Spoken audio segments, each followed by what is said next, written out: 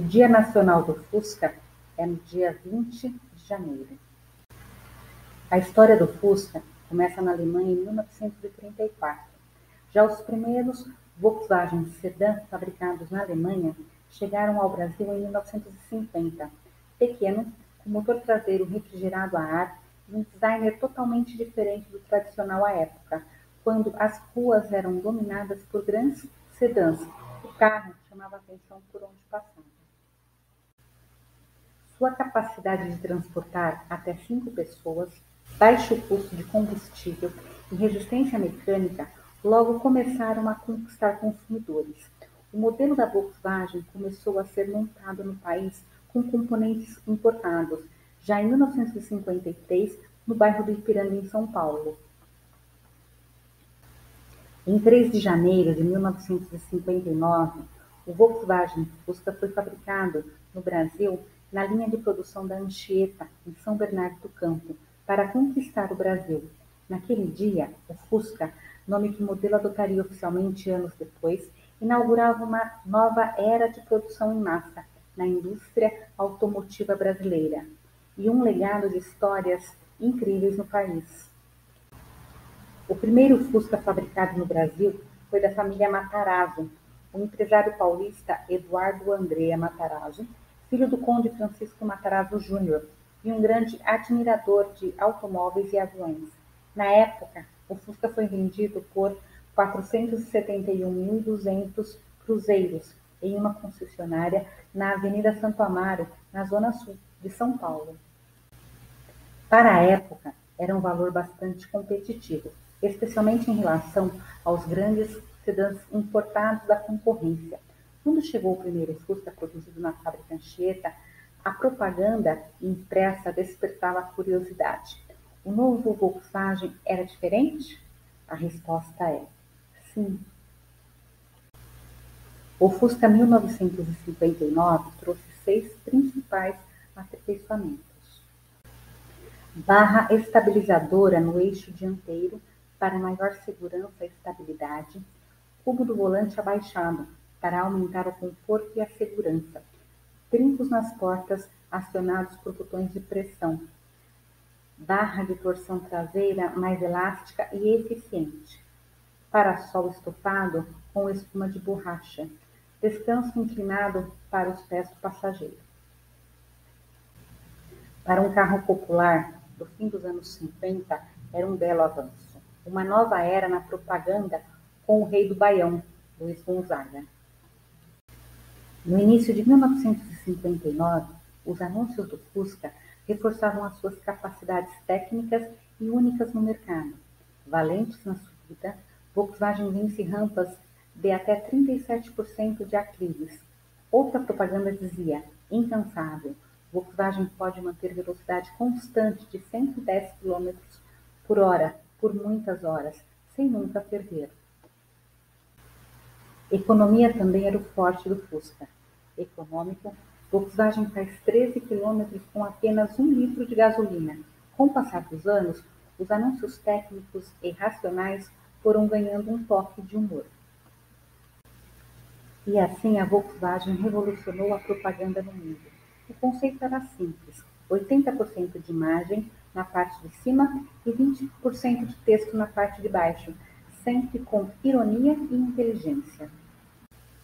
O Fusca também se valia da simplicidade do motor com refrigeração a ar para provocar os concorrentes nas propagandas. O sucesso do Fusca foi tamanho que o modelo ganhou nomes diferentes em mais de 40 países, quase sempre relacionados ao formato de besouro ou corcunda, além do som característico do motor traseiro boxer. O Volkswagen Sedan ganhou oficialmente o nome Fusca em 1983 com 3.100 milhões, foi o mais vendido da história, até chegar o Gol. O auge do Fusca no Brasil foi entre 1972 e 1974.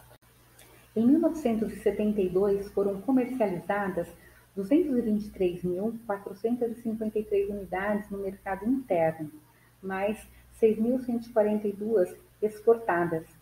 Em 1974, o recorde, 237.000 323 unidades produzidas, incluindo exportações. Até hoje, só o Gol conseguiu superar o Fusca em histórico de vendas totais em 2011. Em 1986, quando o Fusca parou de ser fabricado pela primeira vez, apenas 33.568 unidades chegaram às ruas. Ao longo de toda a sua história, o Fusca teve mais de 3,1 milhões de unidades vendidas no Brasil. O Fusca ensinou muitos brasileiros a dirigir. Muitas pessoas aprenderam a dirigir em um Fusca, especialmente entre os anos de 1950 e 1980. E não podia ser diferente. O Fusca era muito mais fácil e prático de dirigir, em especial para quem estava aprendendo a lidar com volante, pedais e trocas de marcha. Nos anos 50, enquanto o mercado era abastecido basicamente com veículos maiores, o Fusca se mostrou rapidamente uma ótima opção para as autoescolas. Nessa época, as autoescolas ainda estavam em processo de regulamentação e enxergavam no Fusca uma opção. Passou a ser comum autoescolas substituírem toda a frota de grandes sedãs importados por Fusca. Era mais fácil de dirigir e de consertar.